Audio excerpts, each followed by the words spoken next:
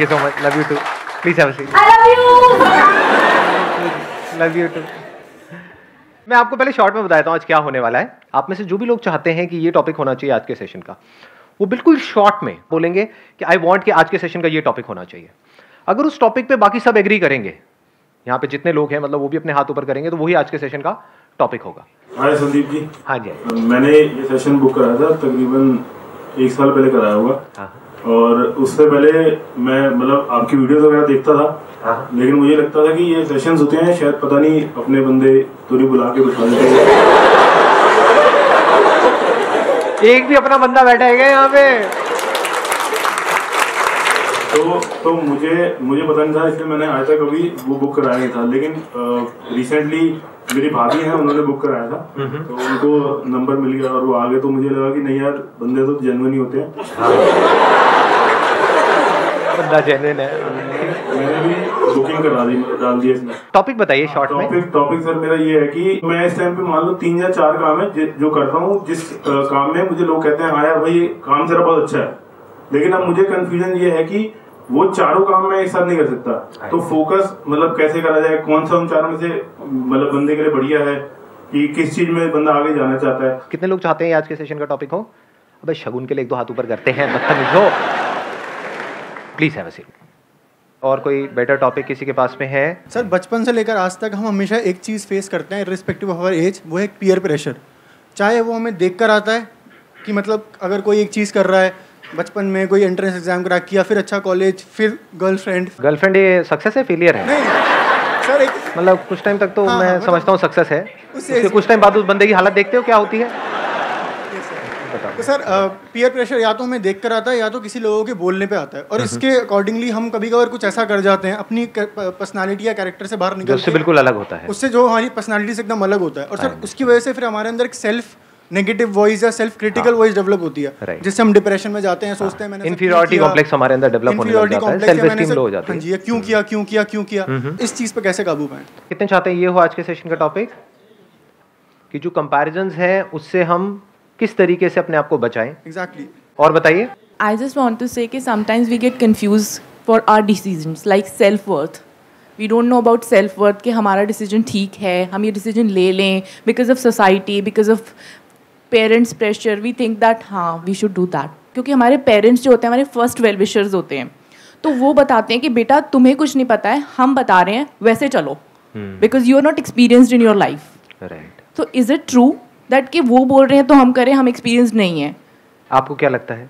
Because मेरी एक शादी थी उसमें डिवोर्स हो गया।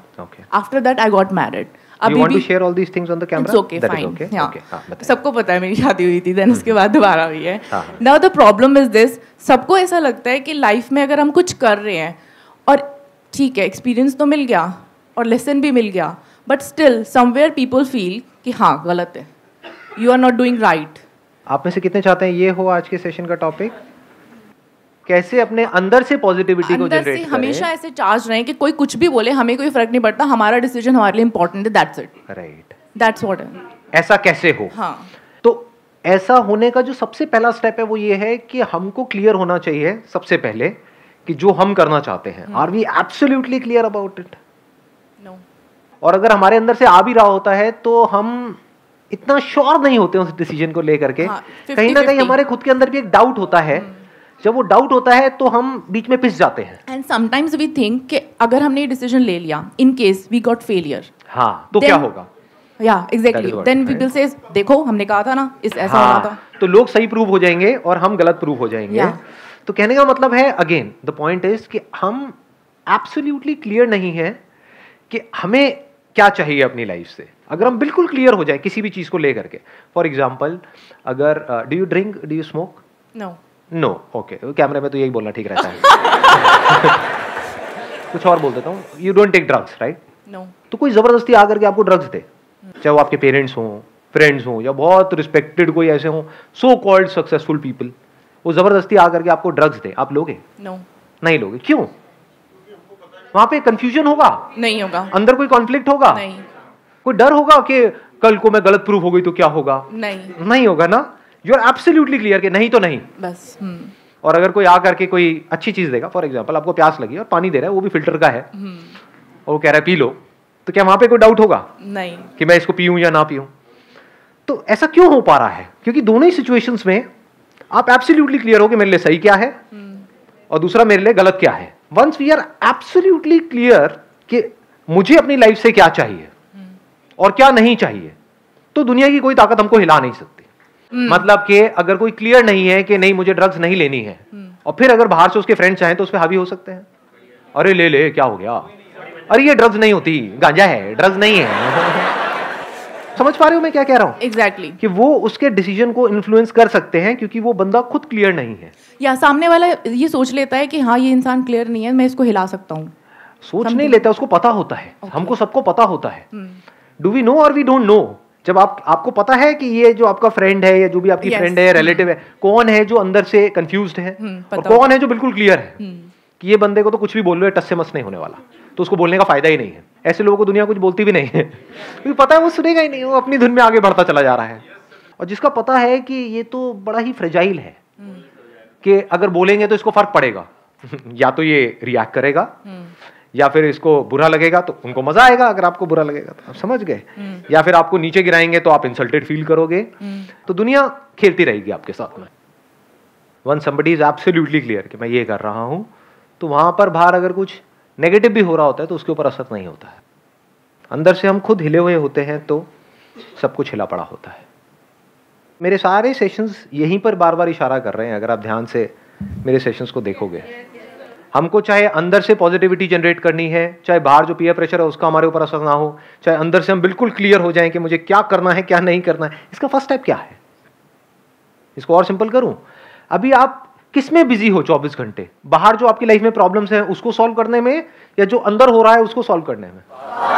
कि मेरे को गुस्सा आ रहा है, या मैं परेशान हूँ तो किसकी वजह से परेशान हूँ? अपनी वाइफ की वजह से, अपने हस्बैंड की वजह से, अपने पेरेंट्स की वजह से। अपनी जॉब की वजह से लोगों की वजह से। ऐसा होता है या नहीं होता है? और जैसे ही आप ये सोचते हो अब आप फंस गए। अब आप फंस गए। अब आप क्या करोगे? अब आप सोचोगे अपनी वाइफ को बदलने के बारे में जो आज तक कोई नहीं कर पाया इस पूरी दुनिया इम्पॉसिबल टास्क पे आप निकल जाओगे। मेरे सेशंस भी देख रहे होगे तो ये नहीं सोचोगे कि अच्छा इसको मैं अपने लाइफ में कैसे अप्लाई करूँ? कि हाँ ये सेशन तो अपनी वाइफ को दिखाना ही पड़ेगा। ये उसी के लिए है। तो पहला स्टेप समझ में आ रहा है हमको। क्योंकि अगर ये पहला स्टेप ही नहीं समझ आया बिकॉज़ ये जो लिखा हुआ है डिस्कवर योर सेल्फ तो सब बेकार है। जब भी आप दुखी हो रहे हो तो आप समझ जाओ आपका ध्यान बाहर भटक रहा है। अपनी वजह से कौन दुखी होता है? कोई नहीं। दुख की सिर्फ़ दो जड़ हैं रिलेशंस और पोजेशंस दोनों बाहर हैं। और बताओ, दुख की तीसरी जड़ कौन सी है? नथिंग जी। तो अंदर ध्यान को मोड़ देने का मतलब क्या है? बारीकी से समझ लेना कि रिलेशंस और पोजेशन से मेरा क्या रिलेशन है। यानी आप अंदर की दुनिया को समझने की कोशिश कर रहे हो, यानी कि अपने एक्सपीरियंसेस से सीख रहे हो। ऐसा हम बोलते हैं बट कभी भी करते नहीं है। हम एक ही गलती को बार बार बार बार रिपीट करते हैं। हम एक गलती करते हैं, उसकी वजह से दुख होता है। कोई झूठ होता है, उसको सच मान लेते हैं, उसकी वजह से दुख होता है। फिर वही गलती बार बार बार बार रिपीट करते हैं और दुखी होते चले जाते हैं। फिर डिप्रेशन में चले जाते हैं फ्रस्ट्रेटेड हो जाते हैं एनर्जी धीरे धीरे खत्म हो जाती है। उस सबकी जड़ क्या है? अगर मैं आपको एक लाइन में बताऊँ, एक ही गलती आप रिपीट करते चले जा रहे हो। वो गलती क्या है? झूठ को सच मान लिया है। तो जैसे उस झूठ का सच हमारे सामने आता है, यानी हमको रियलाइज़ होता है कि ये तो झूठ है, हम दुखी हो जाते हैं। आपको समझ आ जाए कि क्या झूठ है, क्या सच है तो कहीं कोई प्रॉब्लम ही नहीं है। बिल्कुल तेज़ी से आगे बढ़ोगे, कोई कंफ्यूजन ही नहीं है। डिसअपॉइंटमेंट कभी भी हाथ नहीं लगेगा। बारीकी से समझते चले जाओ जो बातें मैं बोलने वाला हूँ। ये नहीं कि सुनते ही आप कहोगे, नहीं, ये तो बकवास है। मुझे पता है क्या आएगा आप लोगों के माइंड में। सच सुनने की आदत नहीं है ना। झूठ ही हमको सच लगता है। मैंने क्या बोला ये बात? इसकी गहराई आप देख पाए?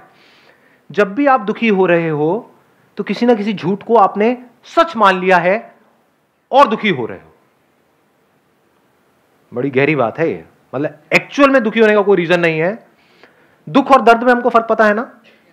दर्द मतलब फ़िज़िकल पेन तो दर्द है इस वजह से दर्द हो रहा है। दर्द मतलब यहाँ पे इसको ऐसे किया है ना निशान पड़ा तो ये दर्द हुआ। दिस इज़ पेन पेन है जिस वजह से दर्द हो रहा है लेकिन उस पेन की वजह से मैं दुखी हूँ या ना हूँ? क्या हमारी चॉइस है या नहीं है? हाँ, जब डॉक्टर कोई ट्रीटमेंट कर रहा है तो हम दुखी नहीं हो रहे होते हम कहते हैं चलो अच्छा है। ये बला टली एक साल से मेरे को दर्द हो रहा था, अब इसके बाद में दर्द नहीं होगा। तो डॉक्टर जितना दर्द देना है दे दो अगले एक घंटे के लिए, लेकिन कुछ ऐसा कर दो कि अब दोबारा दर्द ना हो। तो उस दर्द की वजह से हम दुखी नहीं हो रहे होते, सुखी हो रहे होते अंदर ही अंदर। Physical pain I am talking about what is दुख? दुख क्या होता है? कहाँ दर्द हो रहा है? दिखाओ। समझे मैंने क्या बोला है? जब हम कहते हैं, मैं दुखी हूँ। मतलब क्या? दुख मतलब क्या? कहाँ दर्द हो रहा है? दिखाओ। पेट में हो रहा है, हाथ में हो रहा है, यहाँ हो रहा है हो रहा है। क्या हो रहा है? कहीं कोई स्वेलिंग आई हुई है? कुछ हो रहा है? वॉट इज़ दुख वॉट इज़ थॉट अंदर ही कुछ अपने आप को बोल रहे हैं, अंदर ही कुछ सोच रहे हैं, उसकी वजह से खुद ही परेशान हो रहे हैं। मतलब खुद ही बोल रहे हैं, खुद ही परेशान हो रहे हैं मतलब एक्चुअल में कुछ है ही नहीं। सुनो अब आराम से बैठ करके, बोलो मत। सुनने की आदत नहीं है ना? सुनो। पतियों को है। फिर भी कुछ लड़के बोल रहे हैं। शादी नहीं हुई क्या? हाँ। क्या बोला मैंने? सुना? ध्यान से। कुछ समझ आ रहा है? D want me to go deeper दुख क्यों होता है? मैंने क्या बताया? उसके दो कॉजेज हैं। रिलेशन और पोजेशन क्या कभी हमने समझने की कोशिश करी? रिलेशन सच है, झूठ है। जैसे यहाँ पे स्टेज है। स्टेज के ऊपर कोई प्ले चल रहा है, कोई एक्ट कर रहा है। मान लो एक लाश का, और उसको ये गलत फहमी हो जाए कि मैं लाश हूँ। तब उसको कौन बचाएगा? एक्चुअल में उसको कोई दर्द नहीं हो रहा है। और वो लाश भी नहीं है ज़िंदा है। उसके ऊपर कोई फ़र्क भी नहीं पड़ रहा है लाश बनने का। वो क्या कहे? मैं तो मर गया मर गया मर गया मर गया मर गया मर गया। हो गया दुखी? इसको दुख बोलते हैं। या प्ले में वो किसी से अलग हो जाए। वो क्या कहे? मैं अलग हो गया। अब मेरा क्या होगा? तो क्या वो रोल सच है झूठ है? झूठ है। मतलब नौटंकी चल रही है, कुछ नहीं है। एक्चुअल में कहीं कुछ नहीं हो रहा है। समझे? वो हस्बैंड बन थोड़ी गया है उसका। जबकि उसका हस्बैंड तो कोई और है। In so called real life जिसको हम रियल बोलते हैं। यहाँ तक तो हमको समझ आता है। रियल लाइफ में जिसको भी हम रिलेशनशिप बोलते हैं रिलेशन और पोजेशन जिसकी वजह से हम दुखी होते हैं, वो क्या है? कभी हमने समझने की कोशिश करी? वॉट इज़ अ रिलेशनशिप जिसको हम रिलेशन बोलते हैं? आप हस्बैंड हो या हस्बैंड का रोल प्ले कर रहे हो? अच्छा ऐसा हम सोचते हैं। हम क्या बोलते हैं? जब भी, यहाँ तो भी आप चल रहे हो मेरे साथ साथ में। नॉर्मली आप क्या कैसे सोचते हो? एक कुछ थोड़ी सी नौटंकी हुई। अलग अलग रिलीजन्स की अलग अलग तरह की नौटंकियाँ होती हैं। उसके बाद में कहीं घुमाया, ये किया, वो किया, चलो जी, अब आप दोनों हस्बैंड वाइफ हो गए। तो क्या वो हस्बैंड हो गया? आदमी से पति बन गया? तो जब डिवोर्स हो गया तो क्या पति मर गया? तो सच क्या है, आदमी या पति? तो ये पति क्या है? माना ही है। एक्चुअल में क्या हुआ है? अरे, ये बात समझे? सिर्फ़ मान लिया है। सच क्या है? एक बंदा है अलग अलग स्टैंड पॉइंट्स हैं। एक ही आदमी को, एक ही आदमी। देखना, ध्यान से सुनना और फिर बताना, सच क्या है और झूठ क्या है। और सिर्फ़ इसलिए नहीं कि मैं बोल रहा हूँ, सोच समझ करके मतलब अपना दिमाग दौड़ाओ। थिंक अबाउट इट ऐसे सोचने की हमारी आदत नहीं है। स्कूल, कॉलेज में क्या हुआ है, हमको बता दिया गया है कि ये रट लो और उसको जा करके लिख दो, वही हमने कर दिया। फिर बाद में गए, कहीं जॉब कर रहे हैं, ये कर रहे हैं, वो कर रहे हैं, वहाँ पे भी बता दिया कि बस जितना बोला जा रहा है, उतना ही करो तो हम दिमाग नहीं लगा रहे हैं। एटलीस्ट यहाँ लगा लो। क्योंकि यहाँ आप किसी और के लिए काम नहीं कर रहे हो, अपने लिए कर रहे हो। तो जितना ज़ोर है अंदर, सारा लगा दो। कुछ ना कुछ फ़ायदा ही होगा, उसका नुकसान नहीं होने वाला। तो सुना मैंने क्या बोला है अभी? कि एक आदमी अलग अलग स्टैंड पॉइंट से बेटा भी है, वो पति भी है, और वो बाप भी है। ये सच है? एक तीन कैसे हो सकता है? एक्चुअल में वो क्या है? आदमी। है तो अगर आपको ये समझ आ जाए कि इन रियलिटी ये सिर्फ़ कुछ रोल्स हैं जो मैं प्ले कर रहा हूँ जिसका मेरे ऊपर कोई असर नहीं होता है। कोई मतलब कोई असर नहीं होता है। जब तक कि मैं झूठ को सच ना मान लू जब तक कि मैं ये ना बोलूँ कि मैं पति हूँ यानी पति और पत्नी किसी हालत में खुश नहीं रह सकते। और आदमी को दुखी करने का कोई तरीका ही नहीं है। आदमी को दुखी करके दिखाओ और पति को खुश करके दिखाओ। जो पति बन गया है, जो पति का रोल प्ले कर रहा है, उसको दुखी नहीं कर सकते जी। जब हम रोल प्ले करते हैं तो अपना बेस्ट परफॉर्मेंस देते हैं। जब हम कुछ बन जाते हैं तो हम दुखी हो जाते हैं। एक प्रॉब्लम है किसी की लाइफ में, आपके किसी दोस्त की लाइफ में। जब दोस्त का रोल प्ले कर रहे होते हो, क्योंकि उस वक्त आप दोस्त हो तो आप बड़ी सही सलाह देते हो। जब आप खुद वो दोस्त होते हो तो आपकी लगी पड़ी होती है। समझ गए? ये है रिलेशंस पोजेशंस क्या है? जिन पोजेशंस की वजह से आप खुश होते हो या दुखी होते हो सोसाइटी में एक लेवल आपको मिल गया है तो बड़े खुश हो रहे हो, वो लेवल मिल करके किसी ने छीन लिया है, दुखी हो रहे हो। क्या है ये सब? सच है, झूठ है? सब कचरा है। रियलिटी में किसकी वैल्यू है? पैसे की वैल्यू है। Yes we can't challenge it पैसा is as good as a thing which is needed for your survival एक पोजीशन आपको मिल गई है और आपके कैबिन के बाहर कुछ लिखा हुआ है कि अब तो ये पहले ये थे, अब ये बन गए हैं। उसकी क्या वैल्यू है? कोई वैल्यू है? सिर्फ़ यहाँ है। एक्चुअल में कोई वैल्यू ही नहीं है। This is thinking in the right direction कि हमको पता हो लाइफ में क्या सच है, क्या झूठ है। जो आदमी कहेगा ना कि पैसा झूठ है, वो महामूर्ख है, महाबेवकूफ है। सड़क पे भीख माँगता हुआ मिलेगा। और क्या मांग रहा है? झूठ मांग रहा है। भैया, थोड़ा झूठ देना मतलब पैसा देना। समझ रहे हो क्या हो रहा है? आपकी नौकरी झूठ नहीं है, क्योंकि नौकरी से आपको कुछ मिल रहा है।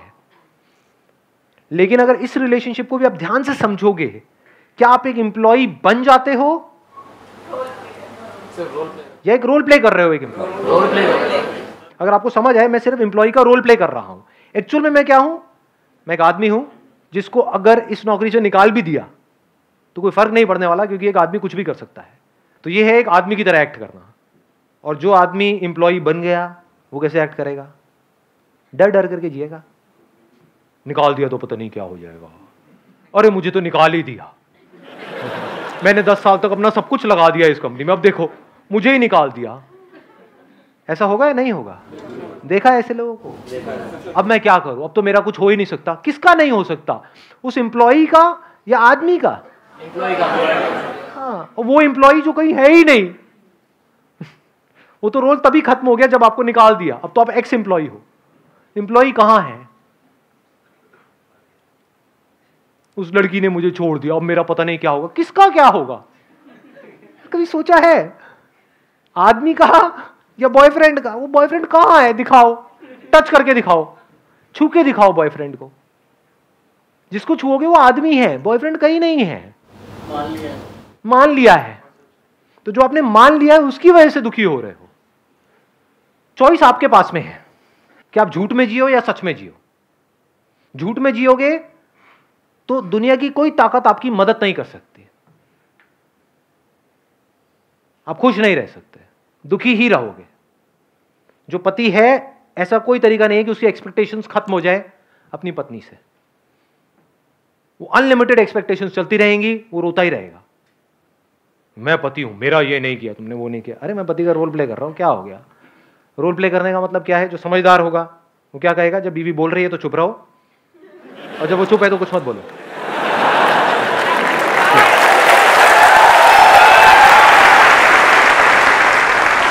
रिलेशन को आप दोस्ती कह सकते हैं। तो रिलेशन कभी खराब नहीं होगा। देखो कितना मज़ेदार है। दोस्ती में हम कुछ बनते नहीं है। इसीलिए मेरे हिसाब से इस दुनिया में सबसे अच्छा रिलेशन दोस्ती का है। आप अपने आप को कुछ भी बन करके सोचो कि मैं बाप हूँ। तो अब आपके दुख की जड़ कौन होगा? आपका बेटा या बेटी। मैं पति हूँ। तो पत्नी से रिलेटेड ही थॉट्स आएँगे। और कोई आ सकते हैं। सुबह से रात तक यही तो हो रहा है आप लोगों की लाइफ में। और हो क्या रहा है? पति बन गए ना? बाप बन गए ना, बेटा बन गए ना, जहाँ बेटा बन गए तो अपने माँ बाप की वजह से दुखी होते रहोगे। मेरे दुख की जड़ कौन है? मेरे माँ बाप है। कुछ मत बनो। जो हो, वो रहो। आराम से देखो अभी क्या हो रहा है। कोई दुखी नहीं है।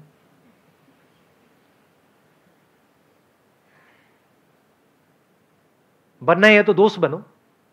बाप क्यों बनते हो किसी के?